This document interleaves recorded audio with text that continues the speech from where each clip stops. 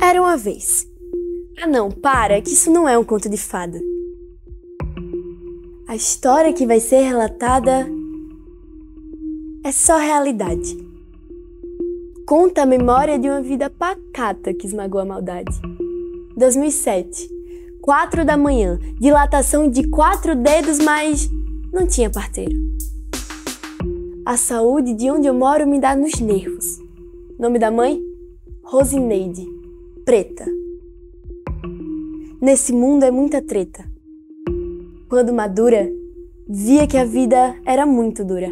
Parecia que Deus olhava e dizia: Poucas ideias, moça. Prazer. Sou sim a rejeitada que a senhora branca tinha citado. Mas ela ficou tão impressionada porque, além de negra drama, eu sou uma negra estudada. E eu sei. Ah, eu sei o quanto é difícil estudar. Na academia da hipocrisia é a matéria que eu não entendia que eles querem tirar. Mas um dia eu chego na universidade. Eles nem estão ligados que a vida já está me servindo de faculdade. De apenas três matérias: miséria, escravatura e infelicidade.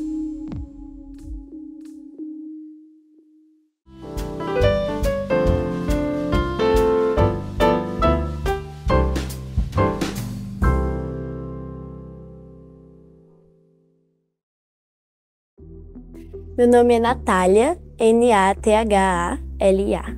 Eu tenho 16 anos.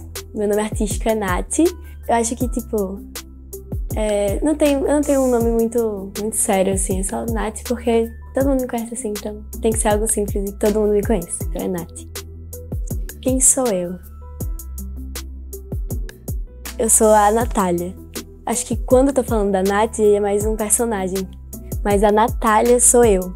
Sou eu dentro das minhas ansiedades, dentro das minhas tristezas, dentro de todas as minhas decepções, sabe? Tipo, é, acho que a gente acha que a vida de todo mundo é perfeita, mas não é. Todo mundo tem seus altos e baixos, dias e dias. Nem todos os dias são bons, mas não quer dizer que sua vida vai ser ruim, sabe? Meu maior medo, acho que é perder o apoio da minha família. Porque acho que minha família é muito minha base, principalmente minha mãe. Acho que ela é muito minha base, ela me apoia em tudo. Se me faz feliz, ela tá me apoiando, então.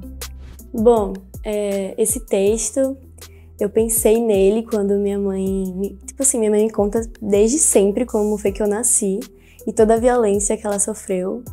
E isso me toca muito, porque minha mãe é uma mulher preta, ela lutou muito para terminar o ensino médio, o ensino fundamental. Minha mãe não foi criada com a mãe dela, porque minha avó não tinha uma condição financeira boa para criar minha mãe.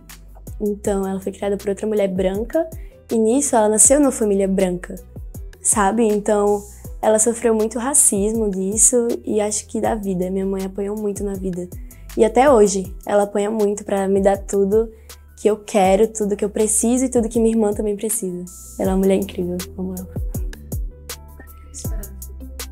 Eu espero que no futuro a gente tenha mais liberdade de expressar que a gente seja justo com todo tipo de amor, todo, todo tipo de fé também, sabe? Todo tipo de amor, todo tipo de fé. E que a gente tenha muita simplicidade, mas também que a gente seja um futuro igualitário.